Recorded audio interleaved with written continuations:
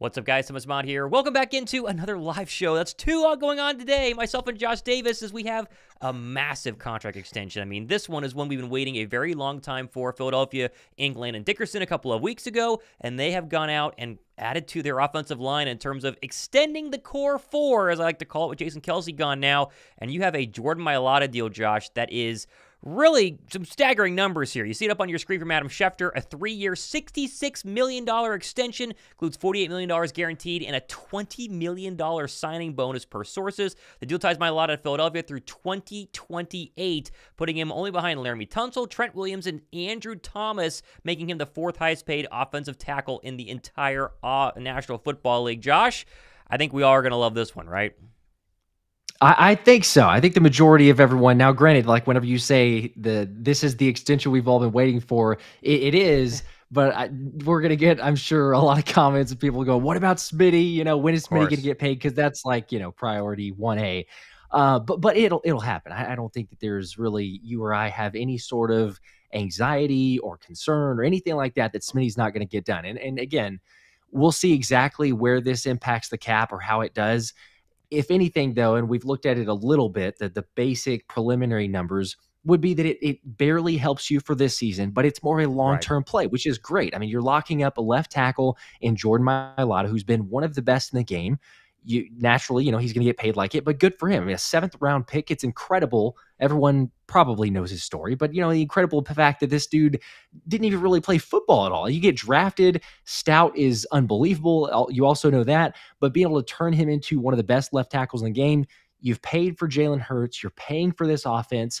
It's no surprise you're investing so much on the offensive side of the ball. So, you know what? Hey, lock up these guys long term. They're cornerstones of your offense, and they get things figured out beyond that. But again, I will preface it and say DeVonta Smith signing is coming. So people that are freaking out about that, this is not taking away from Smitty. This is not the same as, hey, do you want to pay Reddick? Do you want to pay all these other guys?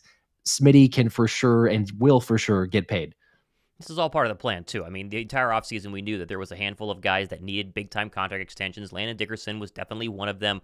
Mailata was up there. And then, of course, DeVonta Smith, you just mentioned. We're not going to worry about because it's going to happen sooner rather than later. Mailata, though, is a great example of if you perform well in Philadelphia, and right now, under the new Howie Roseman offseason plan, you're under the age of 30, he's 27 years old, you're going to get a massive extension, and we're going to make you one of the highest paid at your position. They made Dickerson the highest paid guard in the National Football League, and they make Mailata the fourth highest paid tackle, which I think is fair. He's not the best left tackle in the league, but he's what one C, one D. A lot of people say Trent Williams, Laremy Tunsil, obviously mm-hmm. one of mm-hmm. the highest paid guys, but he's been fantastic. And like you mentioned, everyone knows the story. We all know where he came from and the fact that he didn't play any football up until a couple of years ago, and now is one of the best tackles in the league. He's a great teammate. He's a great guy. And during the Eagles' really awful stretch this past season, he was one of the ones in the locker room every every single game, voicing the idea that they needed to you know change and, and come together. And he tried to lead him out of there. Now, obviously, no one was able to successfully do that. I think coaching definitely had to play, yeah. play a major part in that. But he's well loved by everyone in the organization, and this is an extension that needed to get done. No surprise that it got done. And now you have Jordan Mailata back in Philadelphia, or I guess staying in Philadelphia Philadelphia for what's going to be till at least 2028. And honestly, they're probably not going to let him go anytime soon. Yeah, and it's the right move. Uh, to your point, I mean, he is one of the best in the game, and uh, and with as much as you have focused on Jalen Hurts protecting his blind side, you know, you're you're going to solidify that. You also look at the longer term uh, impact to it is Lane Johnson. Hey, he's great. He's phenomenal. Everybody knows that, but he's only going to be here probably. The assumption is for what a couple more seasons. I mean, he's alluded right. to it. He's talking about his replacement. We've gotten into a number of times, you know, who should they draft and all the other stuff there. Um, but yeah, you you want to solidify it as much as you can. So you say, you know what? Get your guy at the left tackle spots um, for sure locked up. And also, too, I mean, let's not forget, I, I think this is a, a really big um, importance on it. And we've seen it a number of times the offensive line and the chemistry is a big factor, but you just paid Landon Dickerson. So Landon Dickerson and Jordan Mailata, like they they were, uh, I guess Mailata had Landon Dickerson as his best man in his wedding. So like, mm-hmm. there's a huge relationship there on that side. So I mean, it's even better because you say, all right, hey, let's get these guys here together as long as possible because they already have a ton of chemistry and working well together. So you just solidify the left side of that line. Center, you know, I know some people are going to say Cam Jurgens, whatever, but like I'm, I'm, so I'm really confident in that. And then maybe we got to figure out the right guard situation and lane. But you, you look at the left side and you're like, good, you know what? We're golden. To your point, 2028 it, we're solid. We can get the other side figured out. Um, and then the question becomes, you know, Smitty, when does that contract extension done? I'm sure they're working out the details. Wide receiver market has been kind of wild. You look at Calvin Ridley signing, you want to get ahead of some of the others, the CeeDee Lambs, Justin Jefferson, Amon-Ra St. Brown. Like, get in before those contracts hit because it's going to skyrocket after that point. Uh, but yeah, so far so good. Great moves. I guess you know I know we're talking about Mailata here, but Smitty's the natural you know next question there. If if you had to guess, uh, do you have a prediction at all? I mean, to just put you on the spot, but prediction at all, like timing of when this might get done, when we'll possibly see a Smitty extension. Yeah, it doesn't feel like there's anything to keep from taking too long, barring the fact that he does want to wait and see what the other receivers are going to do. But there is an argument out there, at least from DeVonta Smith perspective, that he's not better than Justin Jefferson, but you can still wait and see what Jefferson gets. I think right now most people would take, you know, CeeDee Lamb as wide receiver one versus Smitty's a one B because of AJ Brown. Although take AJ away, what would Smitty look like? I mean, come on, there's still some argument there that he's better mm-hmm. or worse, depending on who you're a fan of in terms of CeeDee Lamb. So waiting for his contract deal doesn't necessarily make a ton of sense. I think they're just you know, taking their time. And Smitty said he wants to stay in Philadelphia. I think the issue that the Eagles have is do you give him more than A.J. Brown? Because he deserves more than A.J. Brown based on where the contract is being given. Because A.J.'s was given two years ago whenever he was obviously traded for and then signed. And that was $25 million mm-hmm. a year. Well, you know, inflation's a real thing for NFL players too. The market moves forward, the salary cap moves up, and people want more money than what A.J. Brown got two years ago. So you give Smitty 26, well, then what do you do with A.J. Brown? I mean, it just goes for a kind of a domino effect there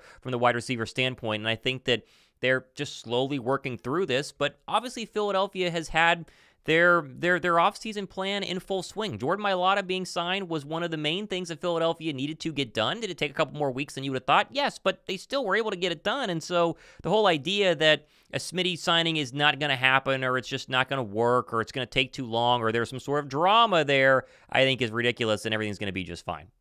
Yeah, I, am right there with you. Again, I see see some of the comments. Uh, Ridge King says how he's making moves.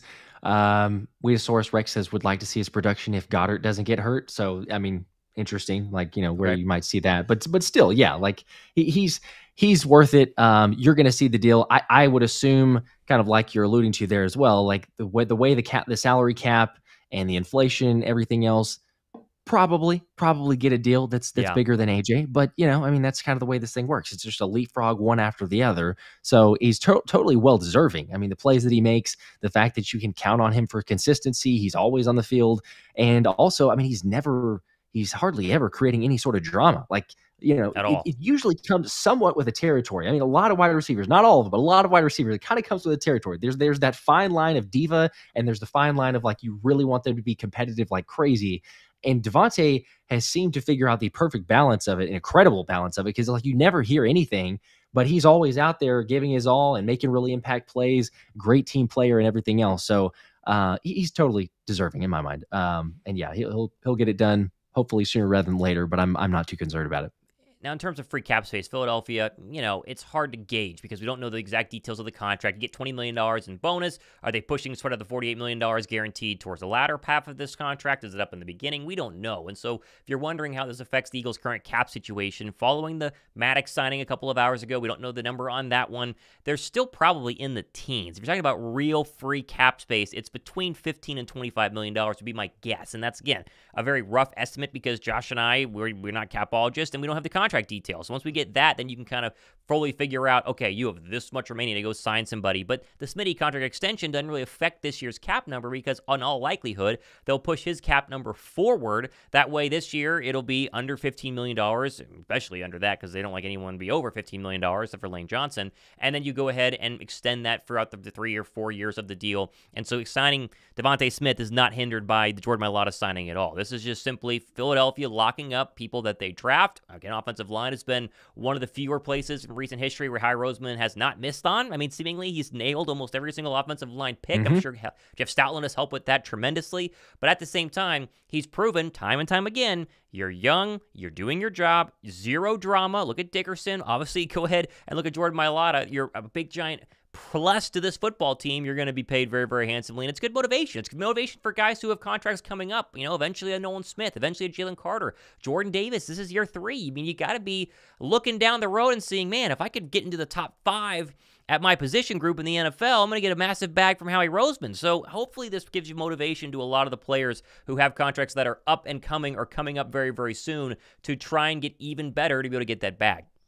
I'm hopeful. Yes, you, you said it right there. The motivation for others to take a look at it, and and hopefully they do rise to the occasion in the sense of, uh, you know, especially Jordan Davis. Like you said, we we've talked about a number of times, but um, it, it's a, it's a great point. Like Howie Roseman does not wait till the last second. The vast majority. I mean, if you get to the final year of your contract, usually that's not a great sign. Certainly with a Howie Roseman type of scheme or, or methodology, because he's going into it of you know what? You're going to show me whether it's worth it before your final year. I will know about you whether I'm going to extend or yeah. not before this final year, and then we're going to get something done. And if not, and we reach the final year, like 90% chance you're going to play out that contract and then unfortunately we're just going to let you go and it's going to be a comp pick because you already have that going into play of well then we're going to fight free agency we might not be able to win out and it's going to be a higher number and everything else. So you know what? It's better to get the deal done early. You don't have to pay as much and you kind of lock it up long term and uh, and then also again like the side of this the i guess positive side effect if you will of that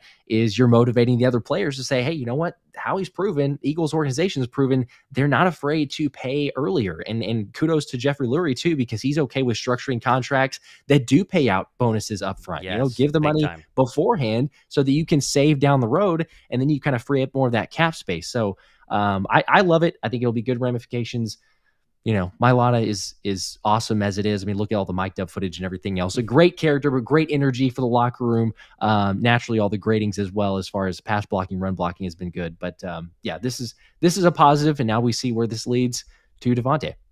There you go. We got a bunch of people commenting Smitty extension coming most likely halfway through the season. I don't know if it'll wait that long for that to go ahead and happen. Yeah. I, I, think it's going to be pre, just because he's going to want to get the insurance uh, in terms of injury guarantees and so, so on and, and so forth. Uh, Mullen saying Smitty will get extended due time. Relax. Well deserved in terms of Mailata, says AJ Harris. Like everyone, I mean, Jordan Mailata is one of the most liked players of this football team in the entire city of Philadelphia. This is this is an easy one, I think, for most people. Yeah, yeah, and uh, it would say you know Michael H saying so no left tackle in the first round this year. Yeah, I, I don't think Correct. that was really a, a question to begin with, but yeah, for sure, no no left tackle in the first round.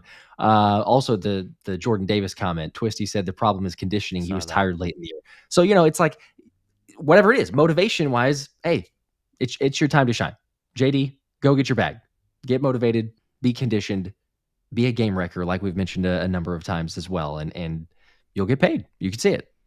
Well, it just shows you that if you if you become one of the top players of your position, this is true for most players in the National Football League. But the difference between being the 11th best or 15th best left tackle and being the third best left tackle is like 20 million bucks. I mean, it's a lot of money. And Jordan Mailata obviously secures that bag and gets the generational wealth that every single one of these players, you know, dreams of getting for their second contract in the National Football League. Like a rookie deal is good. You're gonna blow through it pretty quick. Most people do. Talk about cars and you know a house for your mom and dad and just getting that wealth for the first time. The second contract though is the one that everybody strives for because the numbers you see, $20 million guaranteed, 48 guaranteed, 20 million in signing bonus. I mean, it's it, it's it's a mm-hmm. huge, mm-hmm. huge number for a guy that didn't come from much. If you've seen, you know, what he grew up in, uh, coming from Australia. Yeah, yeah. I mean, kudos to him. It's it's awesome. I mean, the, the the, story. I'm sure that there will be. I'm kind of surprised, honestly, that there hadn't. Uh, at least I didn't hear anything yet. But there's got to be a movie made about Jordan Mailata. Like there's there's too One many day. great Hollywood moments that you can yeah there's a little bit of embellishment and everything else. Look at the Blind Side. I know that's actually a terrible re- uh, like representation of it apparently. So we're not going to get into that. But you know like if you even just telling the legit story and and maybe a, a little bit of uh, of embellishment there is like it's incredible. This dude not playing the NFL, rugby, and you know goes and ends up seventh round pick tutelage under under Stout, and next thing you know, he becomes one of the highest paid left tackles. Plus, with his personality and everything else, like yeah, it, it's a movie waiting to happen. So good for him. Um, you know, it, will be interesting on that side. I did see there's a comment from uh, oh, looks like Don Corleone um, was saying, "Am I wrong? Last year, oh, talking about the other signing, but uh, worst coverage from Maddox. Does that mean he's done?"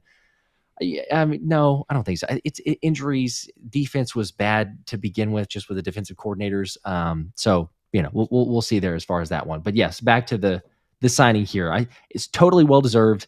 To your point, if you're going to be one of the top performers, I mean, Howie paid left left guard Landon Dickerson the highest paid contract for for a left guard or for a guard, um, and then he's going to do that move here very close with Jordan Mailata. I think it's fourth highest paid is what you were saying there. So um, you know, you, you you get on the field, you make your impact, and you make your presence felt, and you're going to get paid for it. So, um, not too bad. Plus, like I say, you, your right guard slot, whether it's Tyler Steen, if that actually ends up happening, or you draft someone, you're not going to have to be on the hook for paying near as much. So you say, okay, cool, we're paying a lot on the left side of the line, and you do have Lane Johnson as well, but kind of the interior with Cam Jurgens still on the rookie contract and whoever your right guard is, it, it kind of offsets of sorts. So you got to hopefully you know balance those ideas, and then eventually whoever your right tackle is is also going to be kind of the same way. So you're not having to pay five guys, you know, your 20 million a year because that's obviously like impossible cap wise. Right.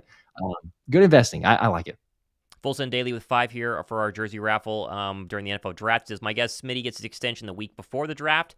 Could it could be this week? It could be next week. Could be the week before the draft. I mean, really, there there is no way to tell. But the idea that they would let Smitty walk or let him go into the fourth year and be able to test free agency next offseason with a lot of wide receiver needy teams every year when you get to an NFL offseason is surprising. I mean, it's it's it's definitely mm-hmm. going to happen. Today's about Jordan Mailata and right now uh, Avonte Maddox. Those are the two big signings. And again, Philadelphia's had an extremely active offseason. We have not seen an offseason in Philadelphia since I don't know, 2010, 20, 2011. I mean, it's been a long time since they signed this many players and went ahead and had this many internal extensions. And Howie clearly has a plan and has been following through with it. And I think it's been pretty great.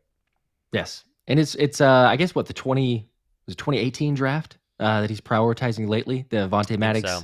Jordan Mailata, so. yeah. So you know, yep. maybe take care of it sequentially. So DeVonta Smith will eventually get there. You're just kind of going back through your your mm-hmm. past draft picks, and and you'll figure it out. But um, yeah, it, it's I, I am excited about this. Uh, you know, I think like we've seen, especially if you're going to invest in any spot, I, and I would feel like the majority of people would agree with this, but if you have a proven offensive lineman, we've seen a number of times where, you know what, Stout, as good as he is, you still only hit on so many. So if if this is the proven guy, and obviously he is because he's he's gotten to that level, like duh, you don't let him walk. You, you extend right. him, you keep as long as possible. You get this thing locked up because there's a lot of other question marks of what you need to get done. So it makes perfect sense on the financial side. Plus, uh, he, he's, I mean, he's an incredible fit for for Philly, for the culture, for the team vibes, everything that you had mentioned too. So, um, you know, it's it's a no brainer in my mind. But good for him. Seventh round pick turned into fourth highest paid tackle in the game. Fantastic. There you go. I couldn't agree more. I think we'll leave it at that. We wanted to make sure we got a show up for you guys to break this down. If you missed it, obviously missed the beginning. Mailata extended for through 2028, $68 million, 44 guaranteed. And if you missed it, just replay the show overall. All right, make sure you guys go hit the sub button. That way you don't miss any of our live shows. First People Live, as always. That's our promise to you. We'll catch you guys in the next one. For Josh Davis, I'm Thomas Mott. Signing off. See you guys. Go Birds.